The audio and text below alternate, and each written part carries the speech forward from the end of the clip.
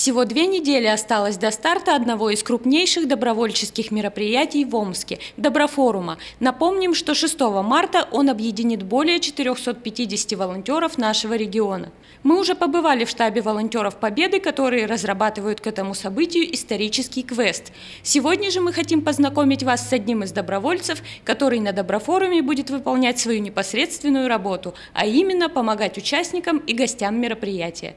Напомним, что всего в волонтеров волонтерский штаб форума входят 17 добровольцев. Волонтерский форум крупный. Э, мы ждем, наверное, не знаю, это объединение многих людей, которые, которыми движет что-то связанное с добром. Не, не просто так же назвали Доброфорум. А люди, заведомо знают, что идут на, на данное мероприятие, они готовы поделиться э, своими навыками, какими уже наработками, тем самым встретить других людей, чтобы э, объединить усилия и сделать нечто новое, новый проект, который помогут им прославить себя и сделать добро другим людям.